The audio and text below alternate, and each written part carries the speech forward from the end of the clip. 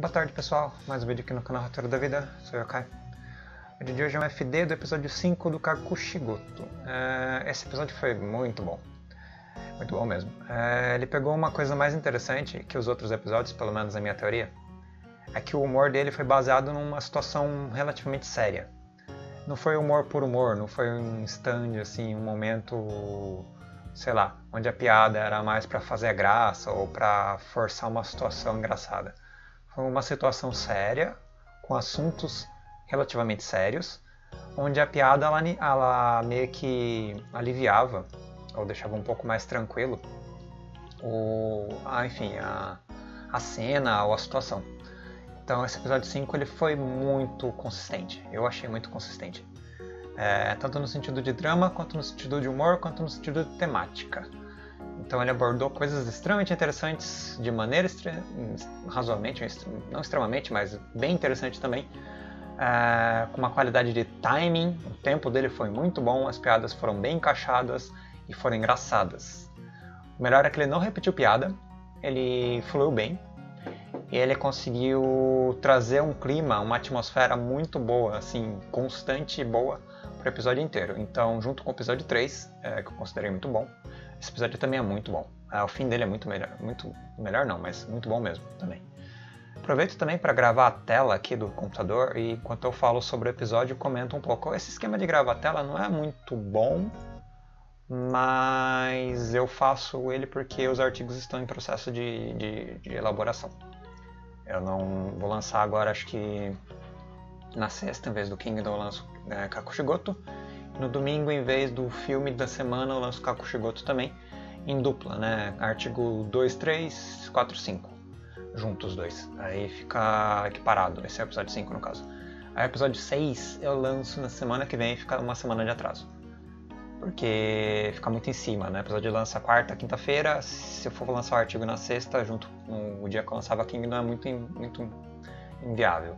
Então eu deixo uma semana atrasado e lanço o artigo sempre nas sextas-feiras. Se não tiver hiato, né? Porque eu vi os animes que a produção tinha terminado e Kakushigoto não é um deles. Pode ser que o anime entre em hiato, assim como o Kingdom entrou. Mas de modo ou de outro, eu vou gravar a tela aqui de fundo para vocês e vamos comentando um pouco mais em detalhe esse episódio. Teve essa, essa saga inicial aqui que foi bacana do, da hipocrisia dele, né? De ah, eu sou um autor de mangá, mas eu não quero ajudar os autores iniciantes.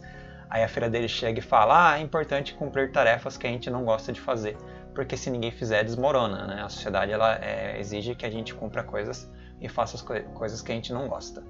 E ele: Ah, verdade, já que eu não gosto de fazer, mas minha filha me deu uma lição de moral, agora eu vou fazer. Ele entra na, como jurado aqui desse prêmio de revelação de, de mangaka novo. Que é bem interessante, na verdade, né? Porque ele, como veterano, pode dar dicas extremamente interessantes e boas para os novatos, né, para as pessoas que estão começando a carreira agora.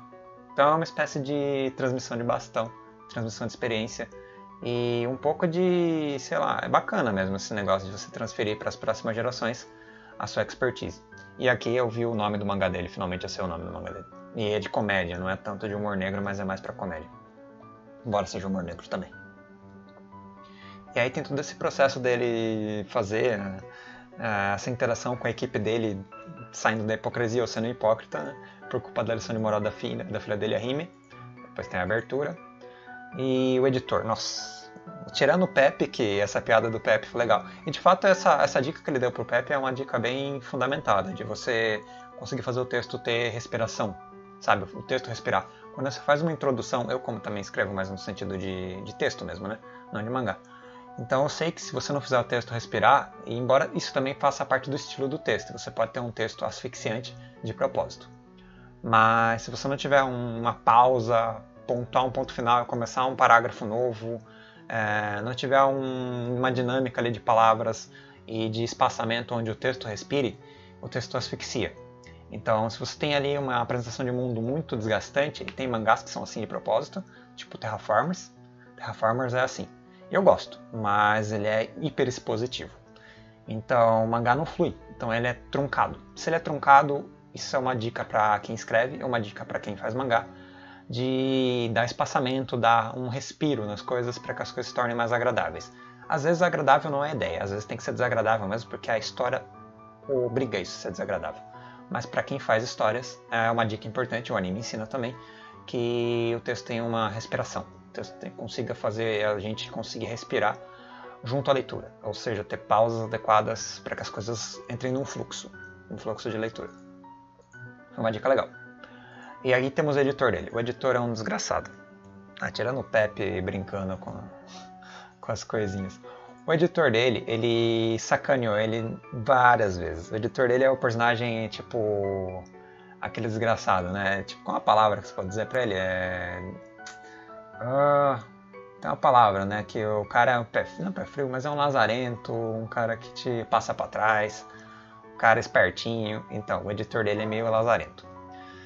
E ele passou e mandou o, o, os betas né, do, das obras de análise para ele analisar na casa dele. Aí foi a piada de mandar lá, não, manda no escritório. Aí não, ele manda no escritório, não, manda de PDF. Não, mas eu só sei fazer uma coisa de cada vez, você está me sobrecarregando. A piada foi boa. Ah, principalmente quando a Rime ficou presa nos caixotes. foi engraçado. É, aqui, a Rime presa nos caixotes, tadinha. Ah, um pouco mais para trás, ah, mas tanto faz. Ah, do modo, não, na verdade é aqui. essa aqui, essa cena foi legal. Mas de um modo ou de outro foi bacana esse fluxo aí do, do editor, ser um lazarento, ser um cara de, sei lá, eu não lembro a palavra que eu queria descrever esse editor, mas ele é um cara chato, ele é um cara chato. Ele ficou enchendo o saco dele, né? Aí ele vai lá é, e mexe. Nossa, ele mexe nos manuscritos críticos. Ele faz as críticas a todos os mangakas novatos. O editor vai lá e, por livre e espontânea imbecilidade, mexe. E ele fica com uma fama porque parece que ele está sendo sarcástico com todo mundo e zoando a cara de todo mundo de quem ele fez o review crítico é, dos mangás. Ou seja, das histórias beta. Isso foi uma puta sacanagem do editor dele. Foi uma puta sacanagem do editor dele. E até pegou mal pra ele, né? Porque queima, né? Queima. Aí ele volta aqui com a. Ah, essa, essa ceninha foi bonita da Rime querer ter alguém para cuidar. Ele fala, você pode ter alguém para cuidar, mas depois dos seus 20 anos. Ele é um pai muito coruja, muito ciumento, né? Muito ansioso e afetivo, mas é uma piada bonitinha. E deixa eu ver o que mais que tem aqui. Ah, e aqui na segunda metade do anime foi a parte do, das cinco, oito páginas, oito páginas finais do mangá dele serem literalmente negadas. Ou seja, ele tem que fazer uma reescrever isso em um tempo recorde, um tempo limítrofe ali, tem que redesenhar tudo. E ele tem que deixar a Remy sozinha porque ele vai ter que passar a madrugada inteira retrabalhando as páginas que foram negadas. Ou seja, a versão dele não foi barrada e não pode ser publicada e tem que mandar para impressão. Então ele tem um maior rolê. e aí o editor lazarento dele também de novo, fazendo piada e levando ele para um hotel para ele trabalhar, né, alugando uma, um, quarto chique para ele ah, se vir aí e tal. Aí teve as piadas da, da, da, equipe dele, principalmente, mais dele, e, e resolvendo a situação. E a Rime ficando solitária e tal na casa dele, enquanto a. Eu não lembro o nome, a, a, a assistente bonitinha dele aqui, que também ajudou ele a fazer a. a piada do roupão foi legal, foi várias vezes repetida, foi uma piada bacana. É, mas a, a, assistente mais bonitinha dele também tá ali fazendo aquele, aquela personalidade, personalidade dela meio sonsa, meio dissonante, foi bacana. Essa daqui dele abraçar o Pepe, que é um dos assistentes dele, foi divertido também. Ah, eu não quero, desse, eu quero subir na carreira desse modo não, não sei que lá, porque o Pepe ele também ambiciona ser um mangaka com a sua própria obra publicada. E o editor stalkeando a empregada dele. Nossa, foi terrível. Esse cara é, é o escroto. O editor dele tá se tornando o cara escroto do, do, do anime. E ele stalkeando a empregada dele, que é a Nadija, Nadija, alguma coisa assim. E aí vai ido lá e acaba brigando com os pais e, e fazendo uma, uma companhia para Rime, porque ela brigou, enfim, ela criou um lugar para passar a noite. Foi bacaninha, a Rime estava solitária, e daí por causa disso, né, que o editor, em vez de ficar com a filha do, do Kakushi, ele vai começa a stalkear a Nadija, a Nadija, acho que é Nadija o nome dela, que é a empregada do, do Kakushi. É, isso foi bacaninha, a, a companhia da, da amiga idol da, da Rime na, na noite dela. Enquanto isso ele lá, né, malhando, enquanto elas se divertiam, passavam uma noite ali comemorando, fazendo festa. Esse potinho aqui, a piada do chocolate foi divertida também, dela odiar o chocolate e ele ficar dando chocolate para ela, aquelas caixas de chocolate, só que ela não queria o chocolate, ela queria o brinde. E ela ganhou o brinde, que era uma espécie de potinho de metal para guardar coisa. Era só isso que ela queria, que a, que a Remy queria. foi bonitinho. Eu já fiz isso também, de não querer o produto e comprar o negócio para ganhar os brindes da vida. É... Gasto uma grana do caralho. Mas é, faz parte. Mas enfim, ah, e a professora é, usando o bastão dela para agredir o, Stalker aqui, que é esse editor lazarento. E essa piada da, delas terem medo da explosão também foi engraçado. Enfim, o anime foi um, um, episódio muito legal. Um episódio muito legal mesmo. Até o assistente com o braço quebrado, né? Que eu vivo com o braço quebrado, chegando atrasado lá e não conseguindo participar da festa do roupão, foi, foi divertido também. Foi um episódio muito bom em geral. E ele voltando para casa, ó, oh, minha filha, não sei o que lá.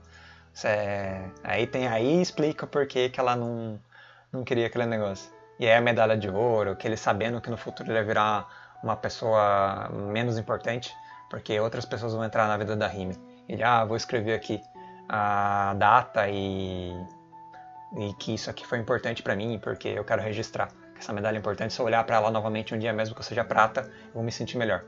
Mas isso aqui é um gancho, e isso que é bonito, da Rimi perceber que a letra aqui na caixa, ou seja, ele morreu quando ela tinha 16 anos e ela tem 10 anos nessa, nessa época da medalha, ela tem cerca de 10 anos, ou seja, o Kakushi provavelmente morre, eu acho que ele morre, quando ela tem 16 ou 15 anos, provavelmente 16, mas tem as caixas aqui. Ele provavelmente sabia que ia morrer, porque ele deixou as caixas, que nem a mãe dela, para ela, e a caixa começa exatamente no número 17.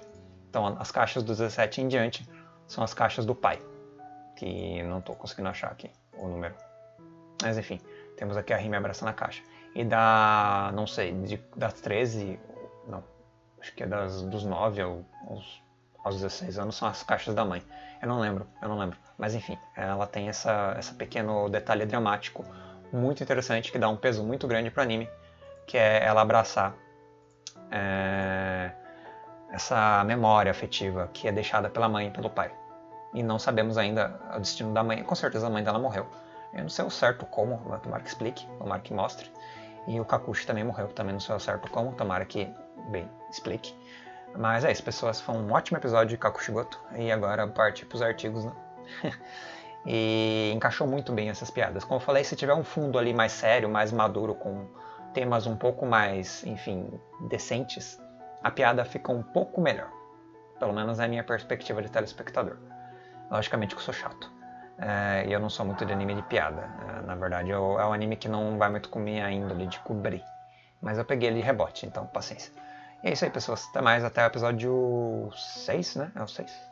É o 6, até o episódio 6. Falou.